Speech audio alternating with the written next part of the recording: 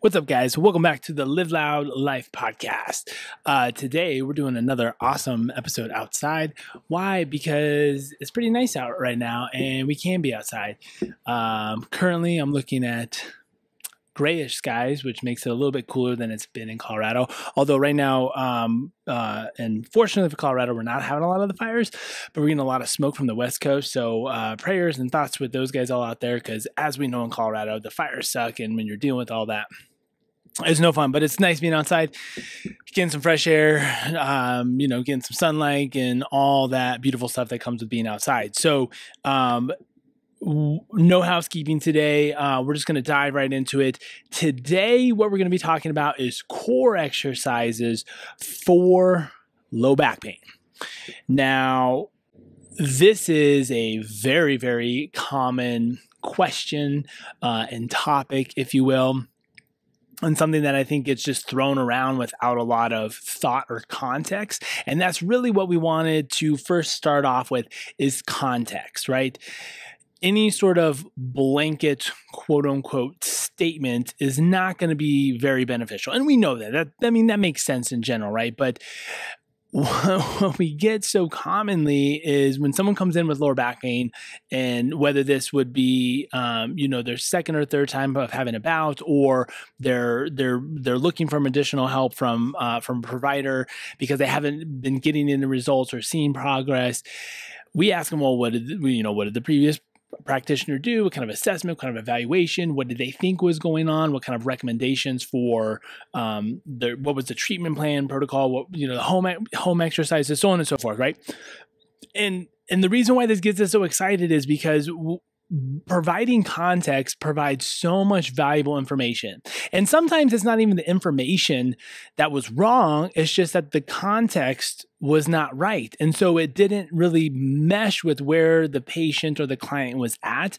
And it just didn't make sense to them, right? So sometimes just reframing the context of maybe where that practitioner was and the right answer that they might have given adds so much more value that then all the kind of pieces click together and they're like, ah, all right, now I know what we're doing and now I know where we're going. So many times, many times we don't even change what was being done, but provide, but by providing the better, a, a, a clearer frame of reference and context, we have a better plan. And then we, and then we implement that better plan and modulate and change as seen fit, right? But, but getting, so first and foremost, context, right? So, for instance, right, core exercises. Core exercises core core exercises as a general is that's a very extensive list, right? Crunches and um and boat pose and technically kipping and different things like that would all be technically categorized and classified under what we would call core exercises, right? Because it's working the core. Now, to say that core exercises as a deficit or weakness is is n- not a very good uh, indicator or diagnosis of why low back pain started. Um, but not saying that again is not true because what we have to do is consider the context, the context around, well, if you're someone who is, you know, lifting fairly heavy weight or doing, you know, fairly challenging movements and your core is not up to par for the demands that you're giving it, then yes, core weakness for what you're doing might be part of the reason why that you're having experienced low back pain or why the low back is taking on more load, so on and so forth, right? But what happens is we just like your core is weak. So then you get core exercises and you're doing the core exercises over and over again, expecting the low back pain to either go away or for your core to get really strong. Now, just like anything else, the core exercises have to be progressive. The progressive overloading or the progressive challenging of the movements is what then makes you stronger. To simply just do core exercises will not necessarily get you stronger. Now, what you also see though is a neural adaptation um, phenomenon, not even a phenomenon, just neural adaptation. Uh, I guess for the listeners, I might see more as a phenomenon. For, for clinicians, it's very well researched and, and and and proven. Is that oftentimes what we're doing is we're not maybe getting muscle hypertrophy, but we're improving neural efficiency, oftentimes first and foremost, and thus. Oh, you hear that? We got a little rumble thunder in the back. Nice. We need the rain. Um, uh, and so the neural efficiency is actually what will commonly uh, start improving first and foremost, which is great because we get a lot of the response that we're looking for immediately. And then we want the hypertrophy to obviously uh, come there afterwards because the hypertrophy is the more muscle hypertrophy you have, the longer you'll be able to maintain or have that uh, muscle strength that you that that you're ultimately looking for and trying to gain. So that's part of the process as well, which is all very important, right? But, you know, kind of coming back to the topic at hand is core exercises for low back pain.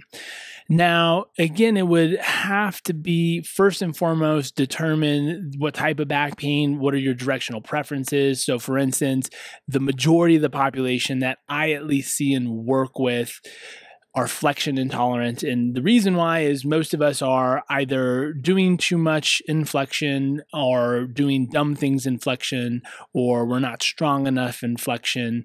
Um, we're picking up things poorly in flexion. And, and then that movement becomes sensitized or intolerant because it does not feel good anymore. So that is, that is that is important because that's that helps us determine what things we should and should not be doing or temporarily avoiding and modifying. That's really, I mean, when it comes down to a lot of um, pain modulation and, and recovering from injury, so on and so forth, it's doing less of the things that irritate the tissue and irritate your body and sensitize the area, and doing a lot more of the things that actually feel good that you want to be able to do and should be able to do kind of in a nutshell, right?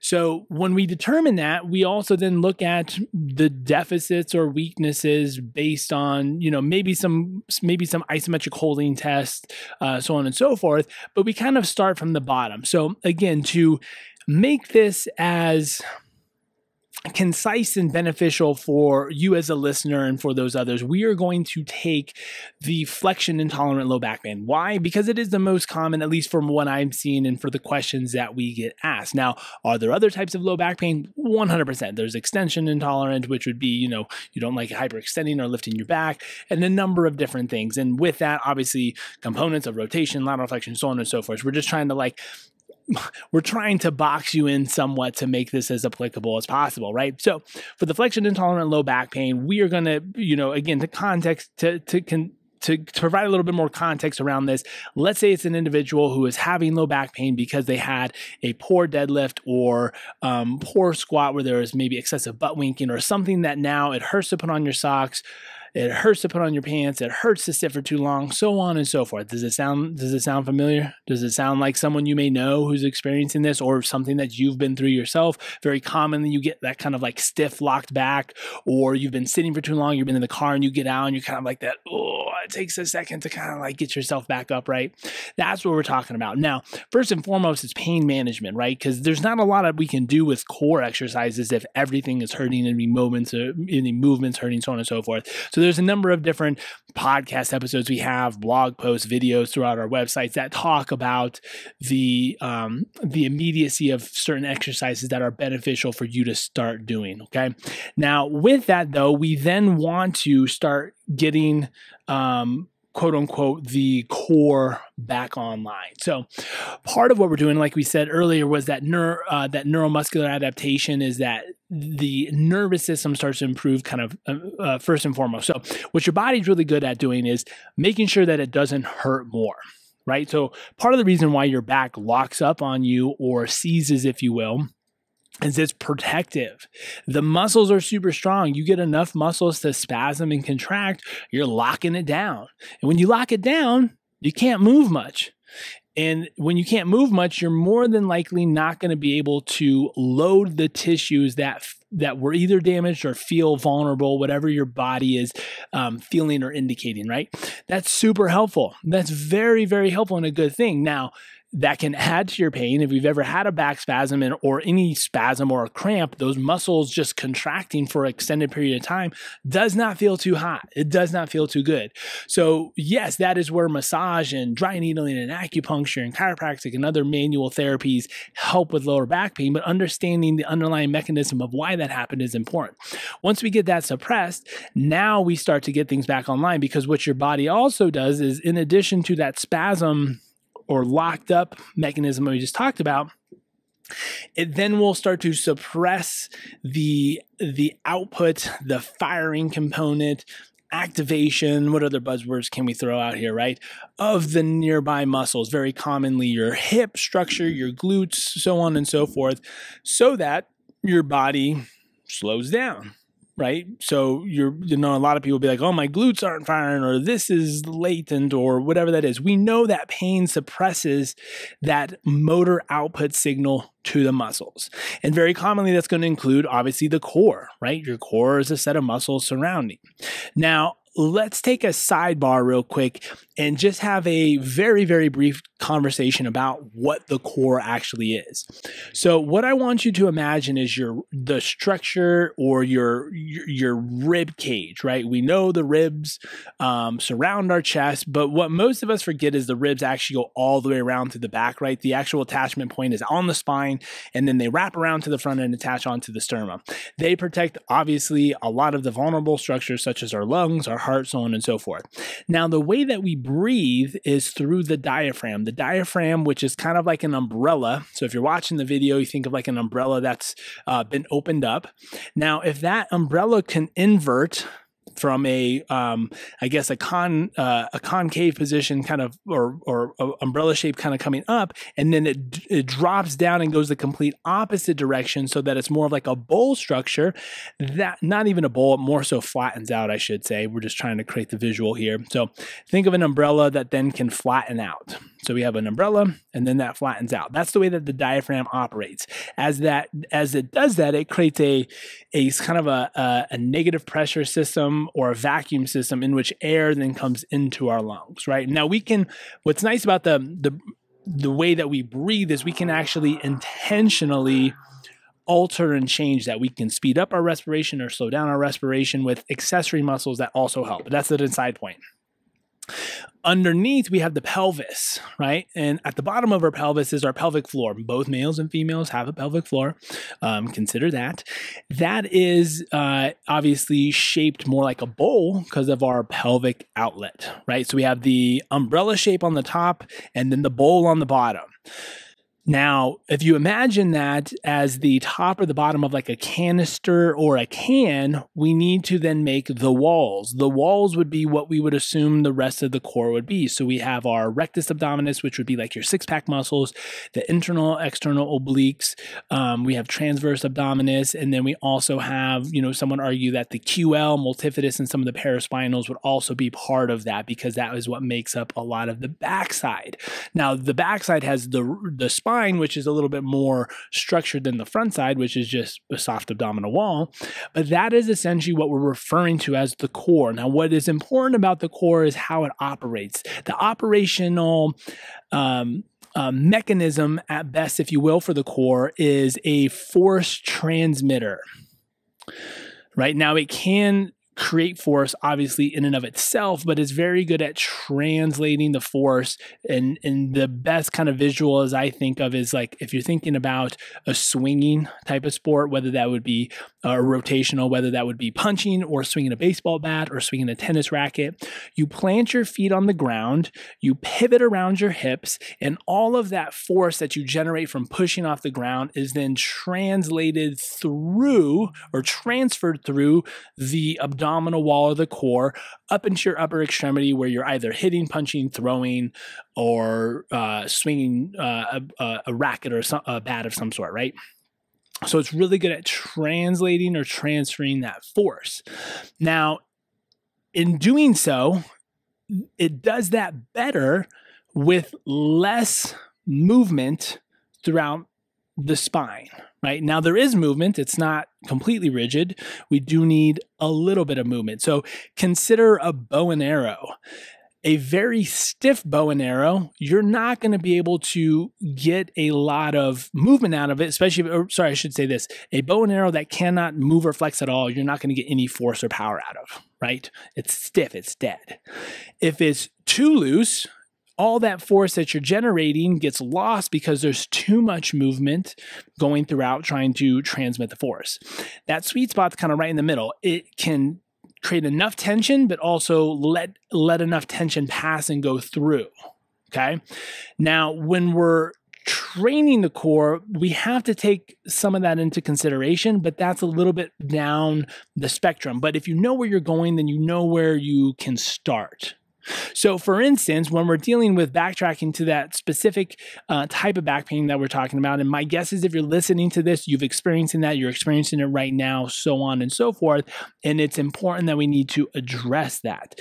So, what we need to do is get those core muscles back online because right now they're a little late and they're a little delayed they're they're kind of soft and just not doing what they should be able to do because they're preventing you from doing more damage or harm or pain to the lower back. Again not indicating that anything is damaged. It could just simply be uh, intolerant or sensitized tissue that have no damage whatsoever which is again very important to understand and realize if you're having lower back pain.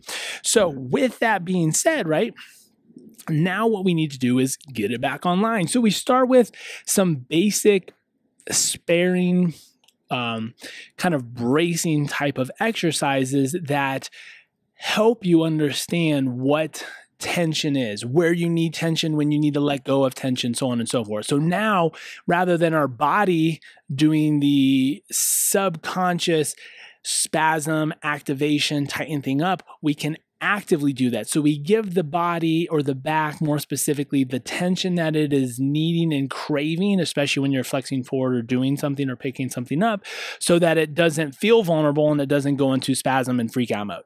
So if you can intentionally do that, you kind of override that oh crap system, and that helps you fend off potential times when you may or may not have pain super important. It's very valuable, right? The less you're in pain, the less you'll be in pain. So right there, that that there is enough for you to want to consider even doing this because it helps out so much throughout the day with all the things that you're doing.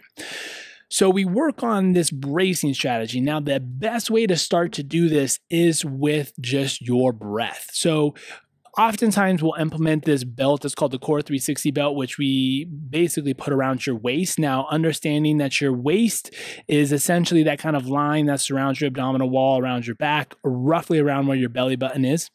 That is the space that's also between like on your back. It's the space between your ribs and your pelvis.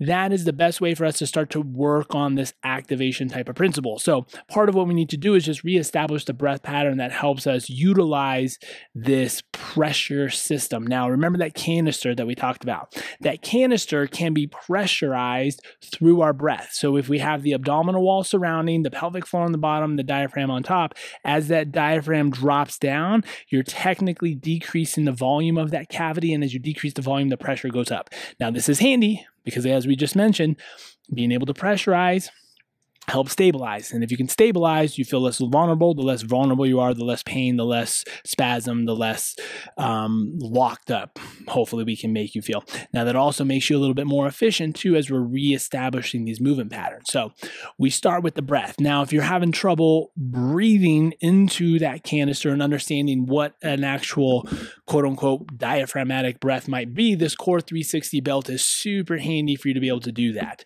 Now, the Core 360 is also good because now it gives you a little bit of feedback as far as manually increasing that bracing pattern. So we've already talked about increasing the bracing pattern through just your breath alone, right? Valuable. Decrease surface or decrease the volume, increase the pressure, increase that bracing component. Now, what we can do is actually stiffen our abdominal wall to make that bracing pattern um, more, uh, again, even more so of a conscious control type of a movement. So, what this looks like and what this means is, uh, you know, as an example, is think about if someone was, if Bruce Lee, if someone was going to come hit you in the abdominal wall or kick you, what would you do? How would you protect your abdomen, your insides, whatever that is? You'd stiffen. You try to make your abdominal wall hard right? You want you don't want a soft belly because that's only gonna, uh, you know, get you crushed. So you actually want to stiffen. It's that kind of type of sound. So one way you can practice doing this is if you take a sniff of air and you um, make a kind of forceful exhale. So whether you want to imagine blowing out a candle, you know, maybe six to eight feet away, where you kind of go that kind of quick exhale push, you should feel your abdominal wall stiffen or brace a little bit, right? So do it, do it one more time with me. So you're going to put your fingers kind of right where your obliques would be. You know, if you go to your belly button and maybe go out like four inches and just kind of hold your fingers there, just go, you should feel that little pulse. Now that's only if you need to understand what the feeling is. Now what you now what we want to be able to do is actually create that kind of it's not distension. We're not pushing out. It you actually it actually feels like it's coming out just because the muscles contract and they expand a little bit, right? But now what we can do is if you can generate that stiffening principle, you can now override and create a very conscious effort as far as bracing, which is activating, using those buzzwords, activating the entire core system to stiffen and brace to help protect and make your back feel less vulnerable. This is powerful because it gives you a lot of control and autonomy around your pain, especially when you have certain activities of daily living such as bending over to change your kiddo or unloading the dishwasher or picking up toys or whatever that is for you. If it's super vulnerable, we teach hinging and then a little bit of bracing to help stabilize so that you don't feel so vulnerable. It creates a little bit more power, control, and strength. Okay. Now, expanding upon that, we want to add movement, right? Because obviously life is a little bit more complex than just sitting around and not doing anything or just bracing patterns. We need to add a little bit of movement. So we start with um, we start with a couple basic expanded uh, movements that help take that bracing pattern to another level, right? So baseline of what we're looking at is called the McGill Big Three. Now, uh, the McGill Big Three is super. Well, I'll, I'll, take that back. There's the I I, I spoke, at, spoke spoke a little bit ahead of myself. So a lot of what we refer to pulls from the McGill Big Three. I've altered it slightly just based on uh, kind of the complexity of the curl up, and I and I default to a dead bug exercise. In my mind, I think it is a better entry level um, for majority of people that at least I work with that have lower back pain, but it's not something that we throw out completely because we do revert, revert, revert back to it. So we're talking about bird dog side planks and dead bugs first and foremost. So what we're essentially trying to do is take that stiffening principle and do movements that teach you how to maintain the torso rigidity or stiffness that helps prevent some of the vulnerability and pain that you're experiencing and create a little bit more power control so that you can move more, move more efficiently. Because the more you move, the better you feel. The better you feel, the less pain you'll be, and so on and so forth. Right? You get where we're going with this. Uh, you know, very, very kind of simply laid out pathway, but a little bit more difficult, obviously, when you're in the pain. So let's start with the dead bug because we've been doing a lot of the breathing exercises on our back to begin with, either with or without the Core 360 belt, so you can feel that tension. Now, the dead bug, what's nice, and especially if you have the Core 360 belt on is you have that biofeedback of being able to make sure that you expand and brace the entire torso. You're not just doing a belly breath so you, that your belly is expanding. You should actually feel your lower back kind of uh, grow as well right that creates that knife that nice stiff bracing system in a 360 degree manner now, what we do is our the dead bug. For those of you who are unaware, is you're laying on your back, you're doing that breathing pattern. Your arms are straight towards the ceiling, so realistically, that's out in front of your chest because you're on your back. Your knees are stacked over your hips, and then your ankles are in line with your knees. So it kind of creates like this, and your toes are up. So it creates a 90 90 90 position. Your ankles, your ankles at 90 position, your knees are at 90 degrees, and then your hips are at 90 degrees. So we start with just first and foremost now in this slightly activated position because you're holding your knees up and you start breathing. Right, we're doing the same breath exercise we do now. We're breathing behind the shield, is what they call it. Right, so because our torso is a little bit more activated because we're holding our arms and our knees up, Now we're going to breathe into the shield and making sure that we can maintain that position without losing it when we breathe. So commonly what happens is when someone's in this position who maybe has a little bit of this dysfunctional breathing pattern or dysfunctional core control pattern is when they get into that holding position, they can do it if they hold their breath, but the moment they take a breath in, they lose it. Their ribs flare or their low back kind of buckles. And sometimes I might even have pain when that happens, right? So now we know this is an area that we need to work with. We are not yet able to maintain the tension or control that we have outside of breathing. If you don't control the movement. With breathing you don't own the movement as Gray Cook says right? So we need to be able to breathe within a movement to be able to control it. So we start with that. And as you start to get better and better you get more efficient. And honestly it's a lot of times it's just a motor learning process and you actually catch on fairly quickly. Depending there's no big strength deficit so on and so forth. We're going to start moving some of our limbs. So now we're going to take one arm and we're going to reach it up overhead towards the ground. So we're taking a mass and we're moving it away from midline, increasing the lever arm of the weight away from midline, making it more challenging for your midline slash your core, I should have said core, to be able to maintain the position that it has been holding already. So this is a vital component to start adding movement to making sure that your torso as that force transfer, force transducer type of mm, uh, uh, mechanism can maintain its position while you move arms, appendages around it. So we start with one limb at a time, arm, arm, arm, back and forth so you get it. And then the heavier legs, we're simply just bending at the hip. So we keep the 90 degree angle at the hip and the knee. So your arm, your leg's not going long, like if you're doing like a leg lower, you're simply just dropping your heel straight down uh, and only moving about the hip. Obviously, that's going to be a lot more challenging than the arm. So, again, you want to make sure that you have the integrity, so on and so forth.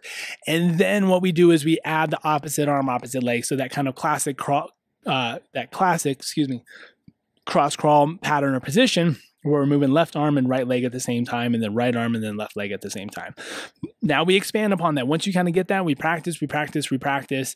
We add the breathing, we control the breathing, so on and so forth. We add tempo, we add reps, we go slower, faster, um, so on and so forth, right? You can increase the lever arm ever so slightly by trying to extend the knee as you go down. You get the point, right? But we build upon that, right? Now, the other ones, which is going to be the side plank. We actually do, actually, I, am I'm, I'm going to back up and do the bird dog first. So the bird dog is no different than the dead bug. The bird dog is on your hands and knees. So it's a very similar 90 90 position for the hips, the knees, uh, and the ankles. Hands are out in front of us, just like we were. Essentially, just imagine your dead bug where you're on your back. You just flip yourself all the way over so you're on your hands and knees. We've all seen the dead bug done before, but what we've also seen the dead bug is just sloppy dead bugs, right? We've heard, or sorry, uh, bird dogs we we're task and goal driven. So when someone says reach your arm forward and your foot backwards without a lot of context or frame of reference of what you should or should not be doing, you just do whatever, right? You complete the task at hands, and oftentimes we just get a lot of hyperextension and rib flaring without a lot of control. That whole breathing thing we just talked about you have to apply it here. So what we're doing, and that's why the Core 360 belt is oftentimes very handy, is you now have that proprioceptive feedback of where the breath should be going and where that bracing should be focused at. You can also create it more, uh, you can create some external cues or as a game, put a yoga block on your back, put a ball on your back, and essentially now what your goal is, is to make sure that that does not fall off. So we do the same patterning. We reach an arm out in front of us like we're Superman or Superwoman. We do the other side. We do a leg. We do a leg. We do an arm and a leg together, and we do an arm and a leg together. Now, the most important thing to con- to, to focus on is making a long line. So we like to encourage making a fist as that arm reaches out in front of you. What the fist does, it creates a little bit more tension. Just by squeezing your hand, you should feel more tension into your shoulder and sometimes down into your core. And then what we do is we point the bottom of our heel. So if you make a really, really long line from the tip of your fist to the bottom of your opposite heel, long line, you're to feel so much more tension being generated. And again, context, we're intentionally making tension. We're intentionally helping you generate tension so that your back does not feel vulnerable. The more tension that you can consciously make helps you get out of that kind of subconscious guarding spasm mode that so much of us have, especially after lower back pain. That is the whole intention.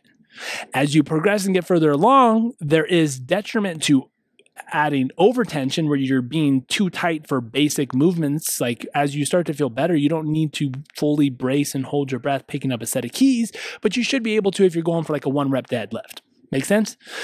So now what we're going to do is going to be the it's going to be the side plank. Now the side plank is a little different because in the in the past what we've done with the dead bug and the bird dog is we're moving we're moving an appendage an arm or a leg about a you know a fixed torso a quote unquote fixed torso we're trying to focus the intention on bracing the torso and then we move an arm we move a leg around or about that now in the side plank what we're doing is we're actually going to be pivoting the torso around technically the hip and the knee. So if you were to be on if you were to be in a standard plank, but this is going to be a forearm plank with instead of your arm, your forearms kind of railroad in parallel with each other, they're either at a 45 degree or they're actually um, well, they still would be railroad together, but they're just pointing sideways instead of going front to back. So if you're watching the video, instead of like this, we're here, right? So your arms are going and pointing across from each other.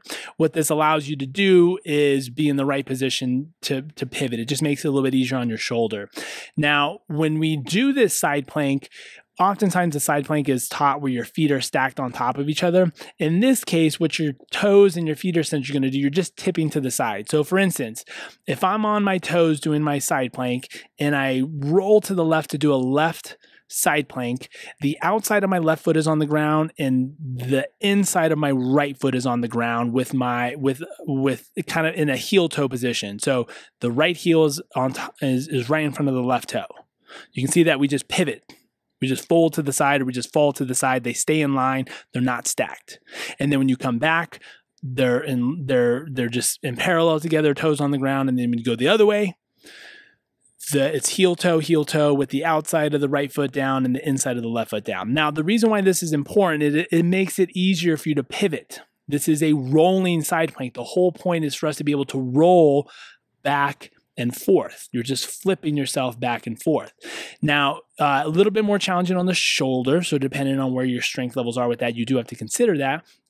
But the most important part here, and this is a good test and evaluation, is what does the hip what do, sorry, what does the pelvis and the ribs relationship? Um, how does it express itself when you're doing this movement? Commonly, what you'll see in order to change your center of mass, in order for you to complete the task, most people will keep both forearms on the ground. They will then rotate and pivot their pelvis first and then the rest of the body will follow. Now, what happens is if, again, we're taking that concept of kind of tying the ribs and the pelvis together through this bracing principle, if the ribs stay in one plane of motion, so your, your technically your sternum is facing the ground, so think sternum and pubic bone tied together or pointing at least in the same direction if they had laser pointers. So your sternum is still pointing to the ground, but yet your pubic bone or your pelvis is now rotated at a 90 degree angle. What's in the middle? In the middle is your lower back. And what you've now created is a torque or torsion moment around the lower back. And for a lower back that's a little sensitive or, or painful, that oftentimes does not feel good. Now, we're not doing these movements to aggravate the low back. We're doing this movement to help the low back. And by doing so, we want to try to keep that system tied together. So, this is the way we coach it, and this is the way we encourage you to do it.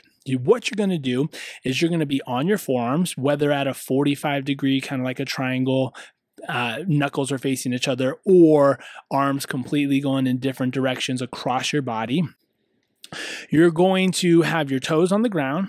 You're going to lift one arm off the ground you're going to feel your body shift and rotate a little bit. That's because you've taken off a point of contact. You've gone from four points of contact to three points of contact. You've taken the leg off the tripod, so to say, and your body and your core has to compensate. First and foremost, that's a great exercise right then and there. You're teaching your body how to adapt and contract and change how it uh, moves and articulates in order for you to stay in a fixed position benefit right there. Now what you're going to do is you have to log roll as a unit. So once that point of contact is taken off, you don't you no longer need to shift your hips in order for you to start the movement. Now you simply pancake roll yourself over.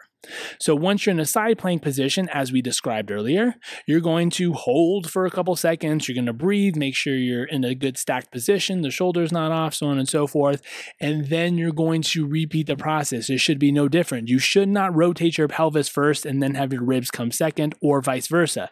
The whole point of taking out the point of contact and rolling at the beginning together is so that you also finish and roll together at the end right? This is a this is a highly valu- valuable position, a lot more challenging, which depending on the progression of where your pain is, we might not necessarily start with, but it's one that is good to reach up to because it teaches you a lot. It teaches you how to keep that tension and move about it. Because again, it's a lot easier for you to just lay in a fixed position or in a bird dog position and move your arms around it. But now when you actually have to take your torso and move it around your shoulder, your hips, the context in the in, in the conversation changes a little bit. So great stepping stone. So this is a good starting point. It's an important starting point. It's, it's a little bit different than it, again. It falls along with the McGill Big Three, which you may may have heard about, but you don't need a lot of different core exercises to achieve what you need to do. You need to do the core exercises that work the best and do them well.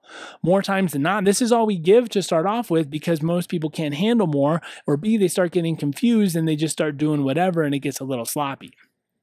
Now, to emphasize and preface, this is to, to create the context, right? This is a momentary step in time through the progression of what lower back pain recovery rehab might be like. You cannot assume that this is what it'll always be like. Now, the bracing principles and the breathing principles have carry over to other movements down the road. Don't get me wrong about that. But we cannot simply say that we need to be bracing and protective and doing all these things further down the road when the pain's actually doing better. We need to do this to get things back online, create context around bracing, make make the low back feel less vulnerable, so on and so forth. And then we expand upon that. You're going to be doing a lot of great core exercises like full body movements such as deadlifts, goblet squats, so on and so forth. So that's the progressive loading that we talked about. And then obviously even more challenging core exercises where you might be taking that same principle of doing like a three point, uh, like a three point row where you've now added weight to that uh, instead of having four points of contact, three points of contact, and your obliques and your core are really, really working in order for you to maintain that good position. But what commonly happens and where people get in trouble is they think now that we're not in pain, that core exercise can get sloppy, and that's where we commonly then run into potential issues down the road. So again, context is context is everything. Making sure that what you're doing um, is valuable for the for the training phase or the stage of life that you're in. Uh, making sure that we're being a little bit more conscious and intentional about the movements that we're doing, and that we have the actual know-how and awareness um, to be able to do a lot of those core exercises. But again, like we want to be able to help you out. So take it for what it is. This is in no way saying that these exercises are right for you because I have no idea who you are and what your pain is, so on and so forth. But for a lot of people, it, they help a lot. If you're being managed by someone and they're just giving you crap exercises, you know, maybe bring these up, provide some resources. This episode, I don't know. Um, obviously, you can reach out. You know, we have remote clients that we try to help out wherever we can because unfortunately, the uh, the burden of low back pain is so great, and oftentimes the care that's associated and provided for that is is subpar. And I'm not saying that we are, in fact, the best choice in the world, but we've been doing this for a while and we've been helping a lot of people out. And I just want you guys to be to be feeling better and to get back to the things you do. Like that's why we are trying to provide this for you because we want to be able to be that guide for you to the adventurous life you're made for. We don't want to see you guys hung up because of this nagging pain and you know you getting the same poor core quote unquote core exercises so if you got low back pain uh, have the conversation with the provider have the conversation with your rehab practitioner, your physical therapist, your chiropractor, your coach, so on and so forth. Uh, I really hope this was helpful, guys. This is uh, been something that has helped me out in the past, and obviously a number of different individuals. But again, the devil is in the details with a lot of this earlier stuff. We can get a little bit, we have a little bit more freedom when things aren't as sensitized uh, and painful. So keep that in mind. But this will help you. This this can help you. So um, I really appreciate you guys tuning in. If uh, the the biggest thing that I ask you for is is leave us a review. If this is helping you, please leave us a review so that we know and we can hear those stories. Um, if you have other questions about certain things, we want to be able to help and provide more specific content for you, the listener. And more importantly, share this. Like, this is low back pain is one of the top disabilities in the world. I guarantee if you just think for two seconds, you will come across a name that is dealing with low back pain. Someone you know directly, someone you know indirectly, more likely than not, someone that is within your immediate circle, family, friends, so on and so forth, gym, whatever that is. Share this with them. I know it'll help them. And if anything, at least stems and starts a conversation about other avenues that they may or may not have tried yet. So, you know, it never hurts. Uh, thanks for tuning in, guys. Um, keep living that, keep living that loud life. Keep doing whatever you guys are doing. Seek the adventure, and uh, we'll see you next time. Live loud.